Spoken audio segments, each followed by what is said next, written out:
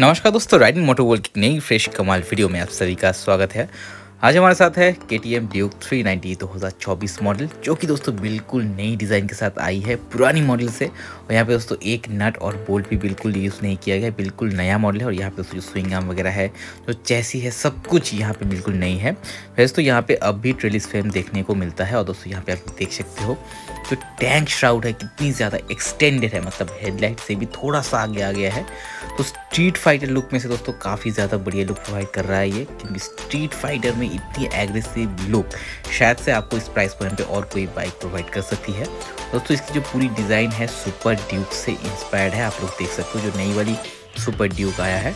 और यहाँ पे आप लोग देख सकते हो डब्ल्यू पी एपेक्स की फ्रंट ट्विन शॉक यूएसडी देखने को मिलता है, जो कि दोस्तों बिल्कुल नहीं है, क्योंकि यहाँ पे ये अभी एडजस्टेबल है, जो कि दोस्तों फ़िलहाल के लिए मतलब इससे पहले एडवेंचर में हुआ करती थी ड्यूक में नहीं हुआ करती थी। तो यहाँ पे आप लोग देख ही सकते हो जो मीटर है, आप लोग देख सकते हो, बहुत ही ज़्यादा ब्राइट और एनिमेशन भी दोस्तों देख सकते हो, बिल्कुल बिल्कुल नई है।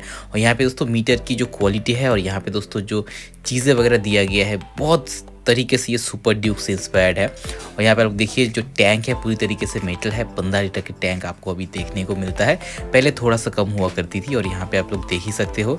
जो यहाँ पे जो एडजस्टेबल क्लच और ब्रेक मिलता है, यहाँ पे दोस्तों जो एडजस्टर है, ये सब दोस्तों चेंज हो चुकी है। यहाँ पे पूरी तरीके से बाइक को न्यूली डिज़ाइन किया गया है। और इंडिकेटर दोस्तों आप लोग देख सकते हो, शायद से ये पहले जैसा ही है, आप लोग को मैंने मुझे बताइए। और यहाँ पे दोस्तों के की बैजिंग आप लोग देख सकते हो, नीचे जो कि रेडिएटर की ऊपर है। यहाँ पे कर्व रेडिएटर मिलता है तो यहाँ पे सरफेस एरिया दोस्तों अभी बढ़ चुका है और यहाँ पे दोस्तों ये बहुत ही ज़्यादा एफिशिएंट बन चुकी है। यहाँ पे डिस्क आप लोग देख सकते हो, बिल्कुल नई वाली डिस्क की डिज़ाइन है, जो कि दोस्तों आपको आर में पहले देखने को मिला था। और यहाँ पे अभी बड़े साइज़ का मतलब थ्री ट्वेंटी mm की डिस्क देखने को मिलता है, जो कि दोस्तों काफ़ी ज़्यादा एफिशिएंट ब्रेक प्रोवाइड करती है। और यहाँ पे दोस्तों आपको एबीएस देखने को मिलता है डुअल चैनल साथ में दोस्तों स्विचेबल एबीएस भी देखने को मिलता है। तो कुछ भी आप इलेक्ट्रॉनिक का नाम ले लो, वो दोस्तों इस बाइक के आपको देखने को मिल जाएगा। यहाँ पे आप लोग देख सकते हो, कोई भी बैश प्लेट वगैरह नहीं दिया गया है, लेकिन दोस्तों आपको साइलेंसर पाइप को प्रोटेक्ट करने के लिए आपको प्रोटेक्शन लेयर भी देखने को मिल जाता है, जो कि दोस्तों स्ट्रीट फाइटर के हिसाब से काफ़ी ज़्यादा बढ़िया है। बिल्कुल न्यूली डेवलप्ड इंजन आपको यहाँ पे देखने को मिलता है, जो कि दोस्तों सुपर ड्यूक की जो नई इंजन है, उससे इंस्पायर्ड है। और यहाँ पे अभी ये ऑलमोस्ट फोर सीसी की बन चुकी है, जहाँ पे दोस्तों आपको फोर्टी फाइव की मैक्स पार देखने को मिलता है। यहाँ पे दोस्तों कुलेंट की रिजर्वर को आप लोग देख सकते हो ब्लैक से छुपा दिया गया है जस्ट इंडिकेटर दिया गया है जो कि डिज़ाइन के साथ काफ़ी ज़्यादा ब्लेंड हो रहा है और यहाँ पे दोस्तों आप लोग देख सकते हो जो ऑफसेट स्विंग आर्म है। ये दोस्तों इंडस्ट्री में फ़र्स्ट है मतलब इस सेगमेंट पे ऐसी चीज़ दोस्तों हमें अभी तक देखने को नहीं मिली थी। और यहाँ पे दोस्तों इसकी जो एंगल भी है, आप लोग देख सकते हो, जो कि राइडर के ऊपर नहीं जाती है फ्रेम के ऊपर डिस्ट्रीब्यूट हो जाती है। तो यहाँ पे दोस्तों जो झटके होते हैं, वो आपको कम देखने को मिलेगा। वैसे दोस्तों स्विंग आर्म पहले राइडर के ठीक नीचे कनेक्ट होती थी, जिससे दोस्तों झटके वगैरह काफ़ी ज़्यादा आपको महसूस होते थे।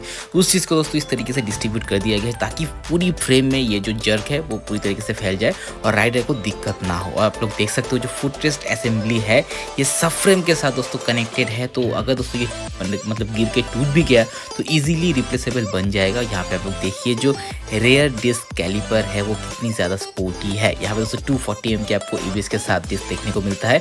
और दोस्तों डिस्क की कैलिपर देखिए कितनी ज़्यादा स्पोर्टी है, ताकि दोस्तों पूरी जो इसकी थीम है डिज़ाइन है, इसके साथ मैच हो पाए। यहाँ पे दोस्तों कोई भी सर्कुलर डिज़ाइन नहीं है, बहुत ही ज़्यादा एंगुलर किस्म का रखा गया है। और यहाँ पे दोस्तों आप लोग देख ही सकते हो जो टेल लैंप है, वो काफ़ी ज़्यादा स्पोर्टी है टी शेप की है। रेयर मरगर दोस्तों आ चुकी है टायर की हगर निकल चुकी है तो दोस्तों स्पोर्टी जो इसकी नेचर थी, वो और ज़्यादा स्पोर्टी हो गई है। यहाँ पे दोस्तों राइडिंग जो फील है, वो काफ़ी ज़्यादा बढ़िया है। वैसे लो आर में चलाने के लिए बाइक नहीं है हायर आर में आपको इतनी ज़्यादा मज़ा आएगा, इतनी ज़्यादा पंच आपको मिलेगा, आप सोच नहीं सकते। तो आप लोग अपना ओपिनियन कॉमेंट में शेयर कीजिए कि फोर सीसी में जितनी भी बाइक मार्केट में भी अवेलेबल है तो आप उसके ऊपर थ्री को लेना चाहेंगे या नहीं। मिलते हैं वीडियो में till then stay safe and keep